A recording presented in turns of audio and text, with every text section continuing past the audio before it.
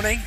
Uh, it's Palm Sunday. I, I, was just just struck me a while ago that um, if this is your first time in church, uh, you might be like, "What on earth is going on? Where, it, where did all these palm leaves come from?" A little bit will be explained. Hopefully, a lot will be explained uh, in the next half hour. Uh, do you want to turn to Mark chapter 11, verses 1 to 11? You can find it on pages 1026 on uh, the church Bibles. Mark chapter 11, verses 1 to 11, and then just stick a finger in it and we'll come back to it.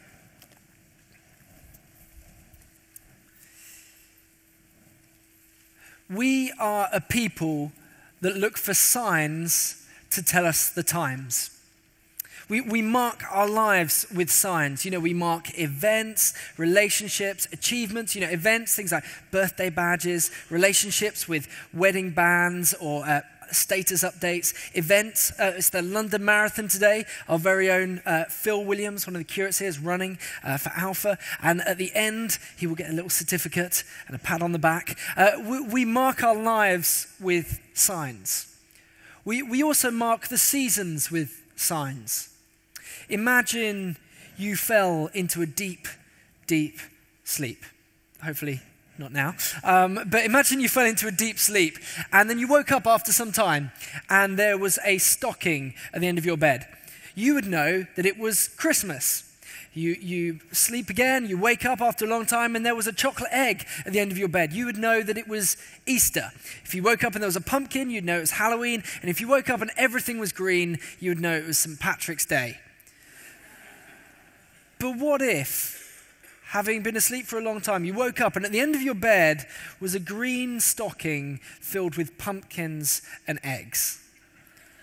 You wouldn't know what the times were. The signs wouldn't match the times. The signs would all be jumbled together. And in a nutshell, that's what we have on Palm Sunday. Uh, we've been doing a series, as David said, called The Way, where we follow Jesus on his way to the cross and ask ourselves what it means for us to follow Jesus uh, to the cross as well. And we've seen that his, his public ministry was he was baptized and filled with the Spirit. He then taught and he preached and he did signs and wonders. And now he has his face set towards the cross. And he, next week we celebrate when, when he goes to the cross to atone for our sins. But, but that's next week. That's Good Friday. That's Easter. Today we find ourselves on Palm Sunday, a week before that, and we see Jesus arrive in Jerusalem. Let's have a look at the passage. This is Mark 11, verses 1 to 11. It will come up on the screens as well. And I'm also going to add a little bit from later on in the chapter because we're lucky today. Um, Mark 11. As they approached Jerusalem and came to Bethphage and Bethany at the Mount of Olives, Jesus sent two of his disciples, saying, Go to the village ahead of you. Just as you enter it, you will find a colt there tied, which no one has ever ridden. Untie it and bring it here. If anyone asks you, Why are you doing this? Uh, say to them, The Lord needs it and will send it back here shortly. They went and they found a colt outside in the street, tied to a doorway. As they were untying it, some people standing there said, What are you doing, untying that colt? They answered as Jesus had told them to, and the people let them go. When they brought the colt to Jesus and put their cloaks over it, he sat on it. Many people spread their cloaks on the road, while others spread branches they had cut in the fields. Those who went ahead and those who followed shouted, Hosanna! Blessed is he who comes in the name of the Lord. Blessed is the coming kingdom of our father David. Hosanna in the highest. Jesus entered Jerusalem and went to the temple. He looked around at everything, but since it was already late, he went out to Bethany with the twelve. A little while later, we hear that on coming to Jerusalem the next day, Jesus entered the temple and began driving out those who were buying and selling there. He overturned the tables of the money changers and the benches of those selling doves and would not allow anyone to carry merchandise through the temple courts. As he did this, he taught them and said, Is it not written, My house will be called a house of prayer for the nations, but you have made it a den of robbers? The chief priests and the teachers of the law heard this and began began to look for a way to kill him, for they feared him because the whole crowd was amazed at his teaching. Amen. Jesus arrives in Jerusalem for the Passover. And in doing so, he's making a really clear statement. He's making a sign. The Passover was uh, the central feast in the Jewish faith. It was the big celebration where they celebrated when God brought them out of slavery in Egypt through the Red Sea towards the promised land, uh, the great Exodus. And Jesus chooses this festival at which he will be crucified to make the point that he is our great high priest. He is our high he is our final sacrifice. He is the one who will lead us not just from physical slavery, but full, from full slavery into full freedom of life. But Jesus arrives at the Passover festival with all the symbols and signs of another festival. He arrives with all the symbols and signs of Hanukkah. Hanukkah is a different festival. It's a festival celebrated by the Jews uh, in wintertime. And, and at that period, it looked back to about 300 years before when a guy called Judas Maccabeus had got together an army and led it out against invaders invading Israel and had defeated them. He'd then come to Jerusalem. He had ridden in in great celebration, and people had waved palm leaves and they'd put their cloaks on the ground and they'd shouted, Hosanna, blessed is the one who comes in the name of our father David. And he had come and he had rededicated the temple and was crowned king. Every year, the Jews would celebrate Hanukkah when God brought them a king. And Jesus takes the symbols of the Passover and the symbols of Hanukkah and he collides them together. And in doing so, he is making a point. He's making a point. He's trying to get our attention. He's trying to say, pay attention. Look at me. It's kind of like, you know, when you're trying to get somebody's attention in a crowded place, you're like, hey, hey, hey, you, you, and you're not, you're not quite sure whether to shout louder or not. He is being really clear that he wants our attention. In bringing the Passover and Hanukkah together, Jesus is saying, Yes, I am your priest. I'm your perfect sacrifice, but I am also your king. Yes, I have come as a priest to deal with your past, but I've also come as a king to lead you into your future. And then he makes it clear what kind of king he is. He uses these signs and symbols. Firstly, he says, I am a confrontational king. Up until this point, whenever Jesus has been doing ministry and anything interesting, anything that's miraculous that will make people like really excited, he goes, shh, don't tell anyone. So, so he'll perform some amazing miracle and then he'll say, go home. Don't tell anyone. Just, just go home. Carry on living your life. And, he'll, and, and the reason is is because these miracles are not just good miracles for these people, they are signs and wonders that point to the coming kingdom. Each one of Jesus' miracles shows that this world that is not as it should be is under his authority, that he is the true king. And if he is the true king, then others are not. With each miracle, with each sign and wonder, uh, it puts more pressure on the leaders and authorities to either put Jesus in jail or to put him to death, as they had done with John. But Jesus isn't ready yet. He still has things to teach, he still has things to do, so he says, shh, but then he comes to Jerusalem. He comes to the kind of the center of the political power, the center of all the authority. And here's where you and I might have been, you know, you might be bold on the outskirts, but when you come to, you know, the capital, you might play it down a little, come through the side door. But he doesn't do that. He comes in with a parade. He comes in with a festival. He whips the crowd up shouting. He comes in, it's like the West End on tour. He's making a fuss. He is making a commotion. He's doing this to bring an ultimatum, ultimatum to the people in Jerusalem. He is saying, either crown me or kill me, but you can't have anything else. Jesus is a unique person. He is the most humble person in the world, but he is not modest. He's the least modest person that ever existed. He, he is truly humble. He came to a stable. He didn't come to a palace. He spent his time with the last, the least, and the lost, those on the edge of society. But he wasn't modest. He said things like, I am the creator of the heavens and the earth. He said that I will judge you when you die. You know, those are not modest statements. And Jesus comes on Palm Sunday in absolute humility, but with no modesty. And he says, You need to crown me or you need to kill me, but you can't just like me and then walk away. And this makes sense. You know, um, imagine if you invited Nicky, our vicar, Nicky Gumbel, round for dinner. And he got to your front door for dinner, and you went, Oh, hi, Nicky, come in, Nicky, but stay out, Gumbel. You were like, Oh, come and sit down over here, Nicky, but Gumbel, stay on the doorstep. It would make no sense. You, you can't separate somebody like that. And in coming uh, with the symbols of the king and the symbols of the priest, Jesus is saying, You can't separate me. You can't say, Come in, Savior, but stay out, Lord. You can't say, Come in, helper, but stay out, king. You can't have a bit of both. He comes as a confrontational king, and he says to us, You need to choose. He comes in in confrontation, but he also comes in counterintuitively. How do we know this? How do we know he's a counterintuitive king? He comes on a donkey.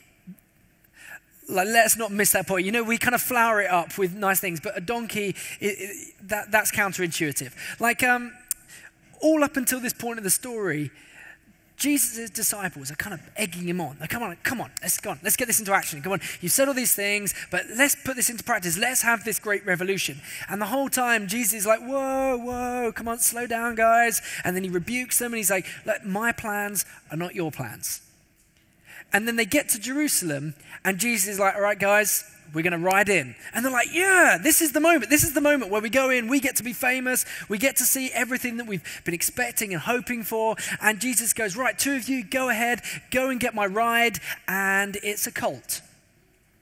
And they would have been so disappointed. A, a cult, the, the word is polos, and it means one of three things. It's either a baby horse, a little donkey, or a pony. Now, now, of all three of those options, none of them are very good for traveling on. Like, it's none of them are good options. Like, imagine it. Like, it's ridiculous. Jesus would have been on this animal that was barely able to carry his weight. Like, his feet would have been dragging along the ground. Like, he, his head would have been below the ground. If he'd stood up, he'd have been more visible. He sat down on this little animal. Can, like, it, it doesn't. Can you imagine Braveheart? Him doing that big speech, but on a very small horse. Like, it, it's not the same impact. Can you imagine Putin riding in on a pony?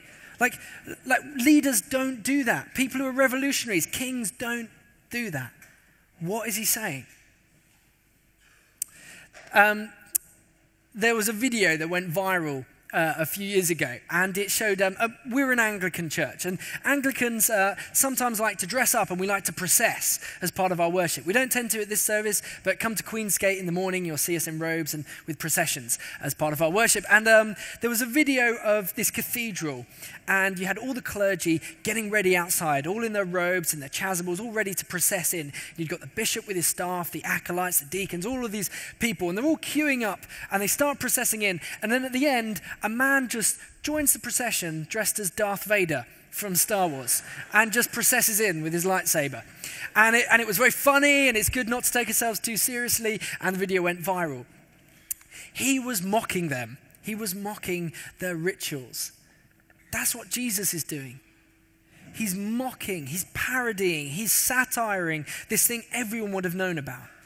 You know, when a king defeated a nation, he rode in to victory to the capital on a stallion, on a horse, with people shouting, with people waving banners, with palm trees being waved. You know, this was a big moment when you had a victory. And Jesus saying, I'm coming to do a victory, but I'm mocking all other ways of salvation. I'm mocking all other ways of being saved. He comes in on a donkey. Jesus comes, and the way he saves, he says, I am coming in as a king, and I am coming in in victory, but not like other kings.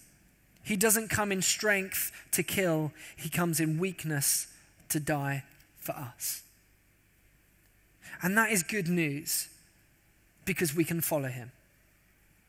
Jesus could have said, I've done great things. I've taught great lessons. I've broken taboos. Now you go out and you do the same, and then you will be saved. But that would have been salvation by strength for the strong, which would exclude all of us. Jesus comes in weakness, which means that you and I can follow him. He comes in weakness, not to kill, but to die.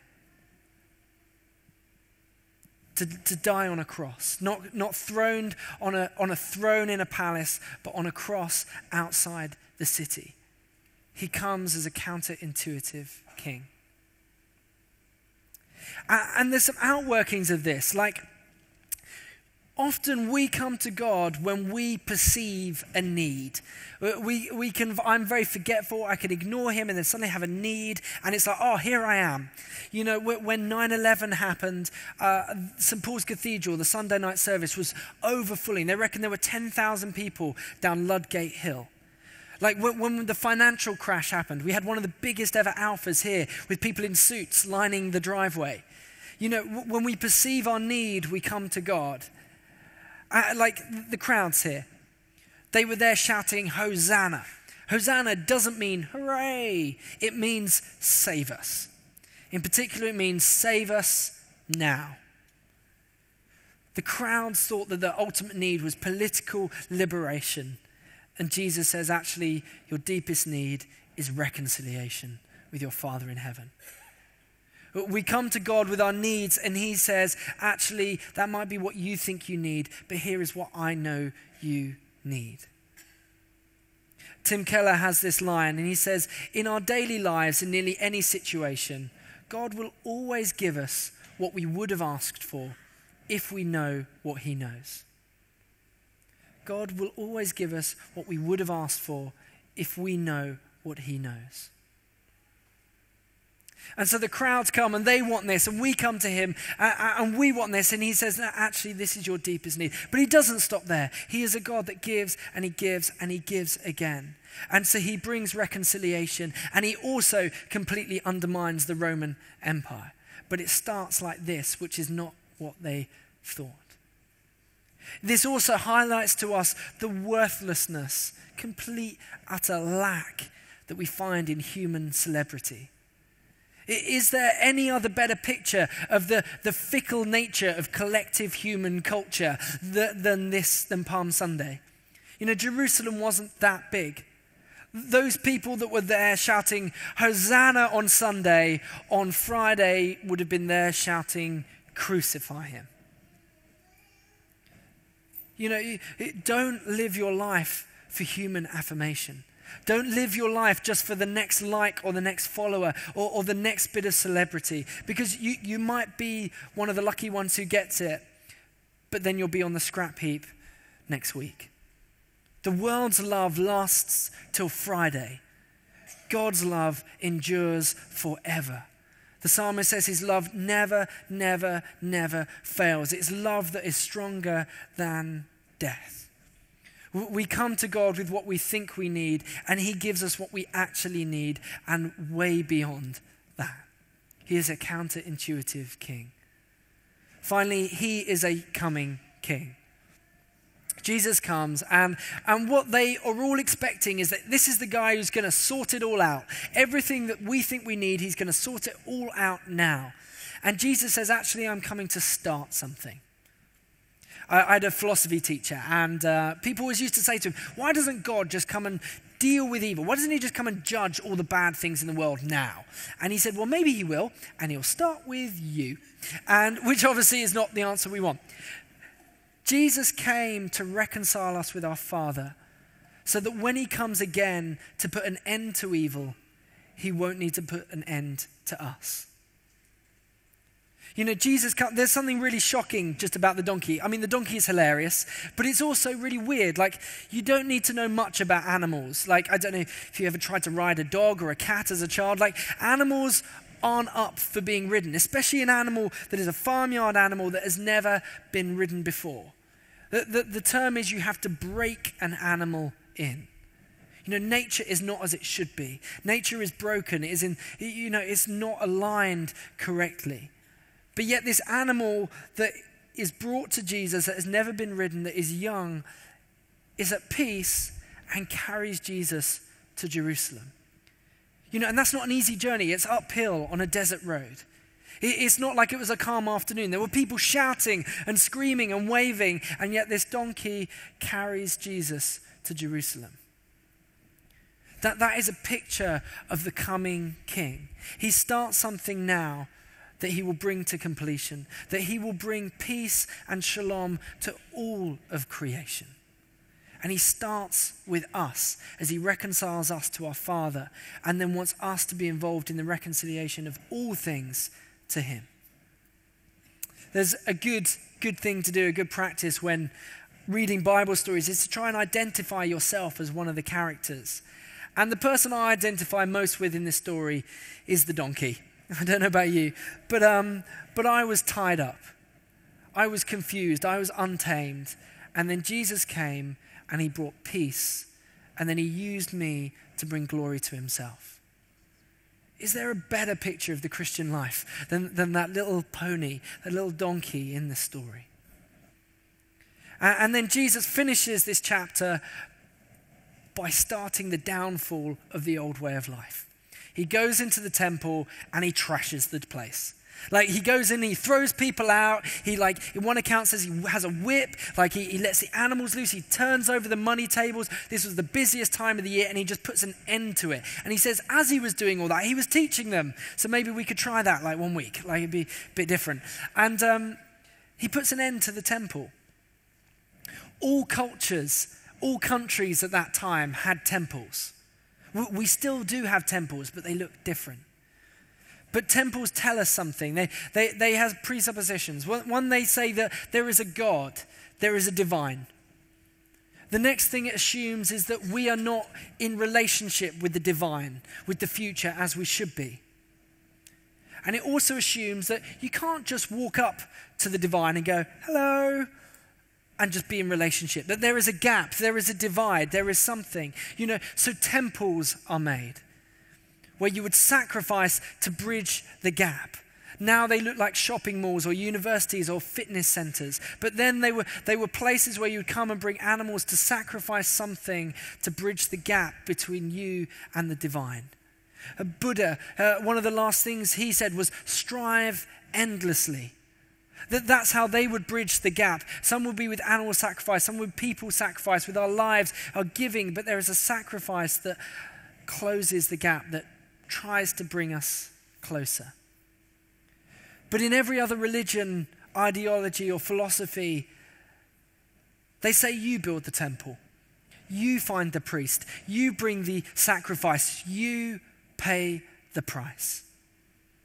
Jesus shuts the temple down. And in doing so, he says, I am the temple, I am the priest, I am the sacrifice, and I will pay the price. Jesus comes as our priest to deal with our past, and he comes as a king to lead us into our future. And he has reconciled us with our Father so that we can be part of the reconciliation of all things to him. He is a king that comes in love. He is a king that comes with discipline and with strength and with release and with overflowing and abundance of love. And the question is do we want to crown him or do we want to kill him? Will we follow him today? Amen.